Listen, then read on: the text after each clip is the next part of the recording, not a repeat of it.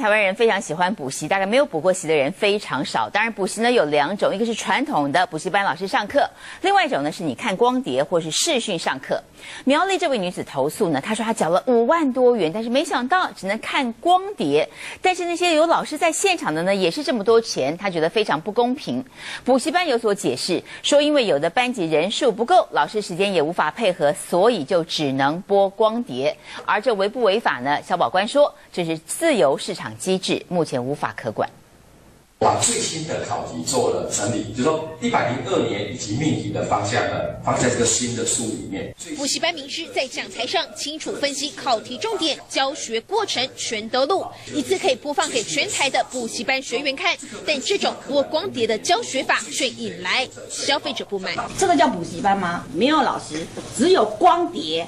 他是什么？他的请问他这是什么机构？朱小姐气愤投诉：苗栗市只有两间考公职的补习班，但都没有老师现场教学，学生只能看光碟或是视讯。只有苗栗的学生没有老老师亲临现场，只能看着你的光碟，是等公民。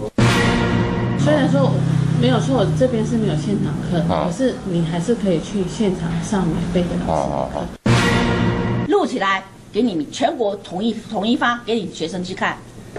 那你这个是这是赚大了吗？是因为这是一个公定价，因为学员的话是平等的。补习班标榜首创视讯说明会，方便不用等。没有老师的这种教学法，补习班解释，因为老师学生时间难配合，有些班级学员人数不够，补习班为了省成本才会使用光碟或是视讯教学。透过机器播放的时候，他是没有办法跟学员面对面的，他不知道学员的反应怎么样，他就是照他的讲下去，那当然就缺乏了。